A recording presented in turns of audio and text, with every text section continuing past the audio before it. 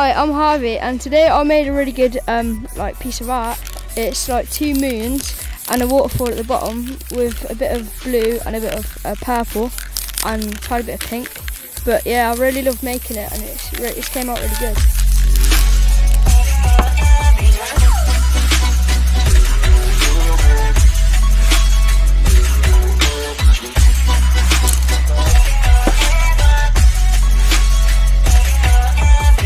My name's Poppy and I came here to just have some fun with some artists and stuff and create something that I wouldn't be able to do at home and it was a really good experience that uh, I hadn't done before and I really enjoyed it. We did lots of uh, street art and stuff on some boards and we did some paint and some really just artistic things with different things you wouldn't be able to or actually things you'd be able to use at home like tops or CDs or tops of lids and stuff and just some boards and just create something that you wouldn't think you'd be able to create out of the little supplies that they use. It's really good fun.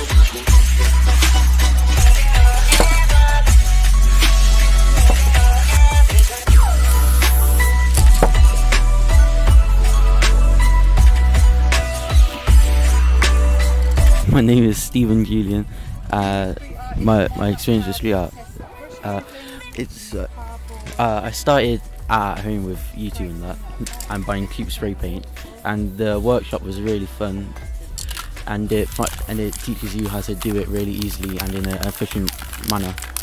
Started off by doing um, like shapes and filling them in and then shading them, and uh, we did pink a pink, blue, and a pink and blue skull, and then transitioned onto doing planets with newspaper and cardboard.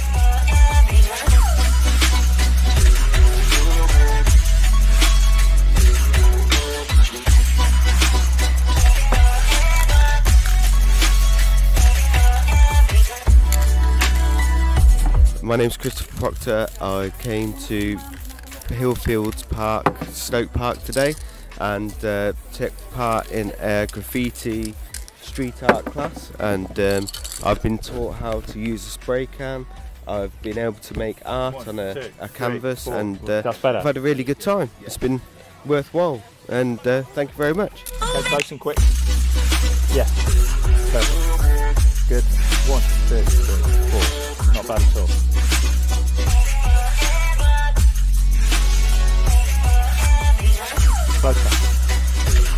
Um, my name's Mary, and I originally signed up for my son who's doing GCSE art, um, but I got to have a go myself, and it's absolutely brilliant. And we've all had a go. It's been a family day. We've had the 10 year old, the 15 year old, and mum have a go. It's been absolutely fabulous. Um, we created, um, I had a planet. Um, my son did a moon, and um, the other one did a solar system. Okay.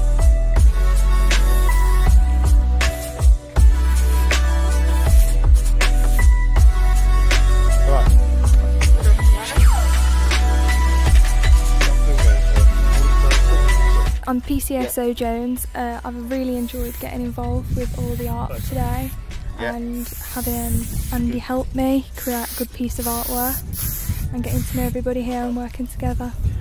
I created four different planets using different techniques of spray paint, um, using my hands, the spray paint can and different stencils. It's been a great advantage for the community to get together and do their artwork. Closer. Nice. Right, we're all getting nice skinny lines now. Skinny lines are hard to get. Close and back. I need like the space, out space, and like I, I, use like right, a brush technique so that it wouldn't yeah. go everywhere. And I use now, my fingers to flick some white on to make some stars. They're orange, yellow, white, purple, blue, white, and orange and white.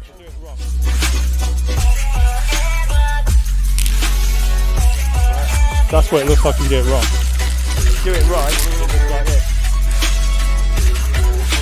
Okay?